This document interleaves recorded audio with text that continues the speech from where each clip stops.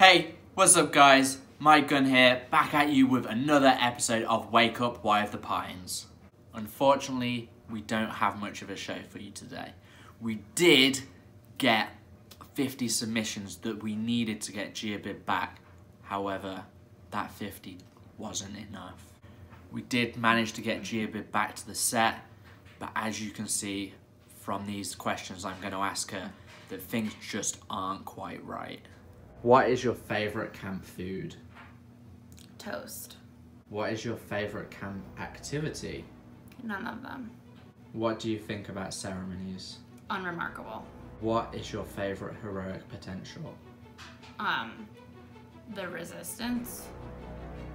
Who is your favourite member of the resistance? Ego. What was your favourite village to be in as a camper? Oneida, because I was never in Oneida. What is your favourite camp shoe? Sneakers. New Balance sneakers. White ones that will get dirty. What is your favourite bandana or headband? Neither. Red section, green section, or white section? That at Aki, that part to the left, you know, where all the sticks wash up, that's where I like to hang out the most. Favourite element at the swamp? The water, because it's dark like my soul. Favourite emblem you've achieved? I don't do emblems. Favourite camp memory?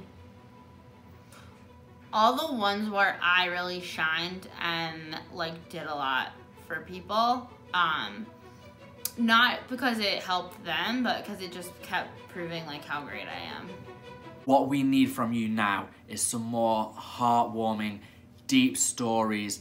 These can be funny, these can be some of your amazing memories that we need to help get Gia Bib fully back to her original self. The perfect place to do all of this is during our virtual campfire tonight where you can tell some of those amazing stories about why camp is so important to you.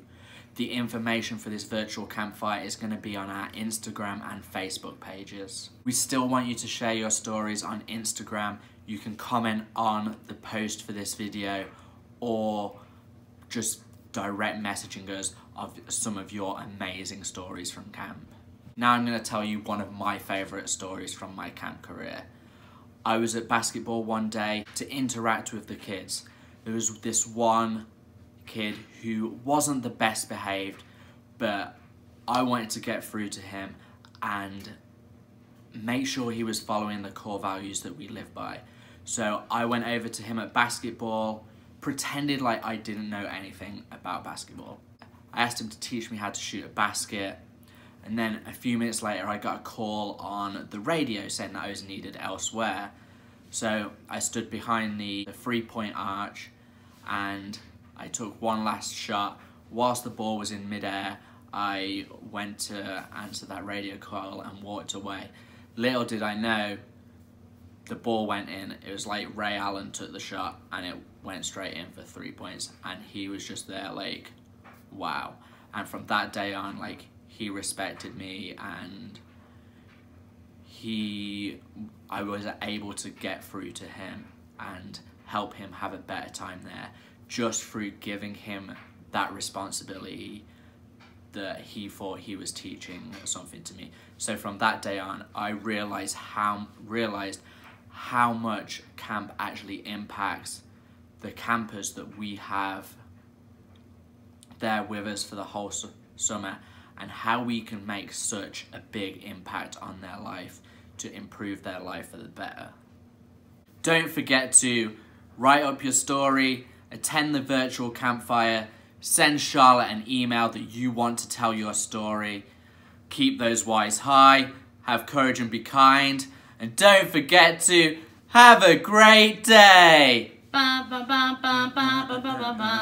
ba ba ba ba ba ba ba ba ba ba